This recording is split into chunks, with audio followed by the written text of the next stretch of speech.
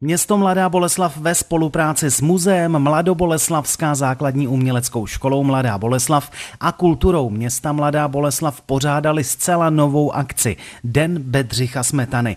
Ta vznikla v rámci roku České hudby 2014 a oslav 190. výročí narození hudebního velikána.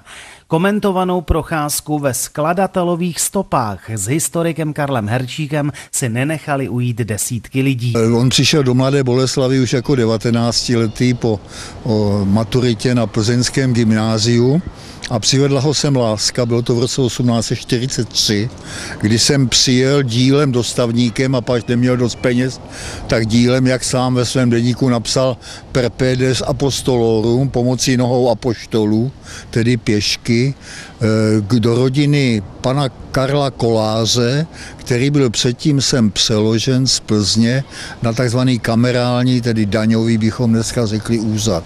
A jeho dcera Kateřina, tehdy 16 letá, už se seznámila Bedřichem Smetanou právě v Plzni a když se sem přestěhovali z Plzně ti Kolázovi, tak on je tady v létě asi na 10 dní navštívil. Bedřich Smetana výrazně ovlivnil následující generace českých skladatelů. Hned několik budov a míst v okolí je spojeno právě se zakladatelem moderní české národní hudby. No tak například několikrát přespal a také koncertoval v roce 1862 65 u Zlatého věnce.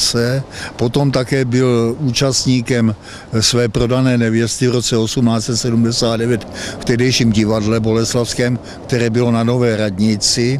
Dále po, po tomto představení poseděl s herci a muzikanty u Modrého hroznu, což byla hospoda e, stojící na konci dnešní fronty Jizerky na náměstí Míru.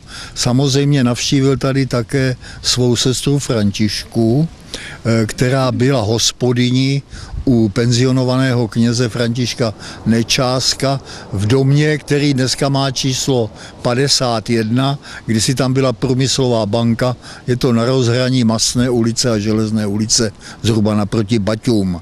No a konečně samozřejmě Eh, nevíme, ale zřejmě ano, nebyl na pohřbu své matky 1864, ale protože posledních devět let života prožil v letech 1875 až 1884 v Jabkenicích a často jsem jezdil, eh, tak zřejmě navštívil i její hrob na Havelském zbytově. David Klesa, první Boleslavská.